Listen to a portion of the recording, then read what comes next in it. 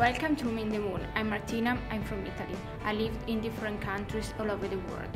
I would like to share with you everything I know about these countries. Would you like to share with me about your country?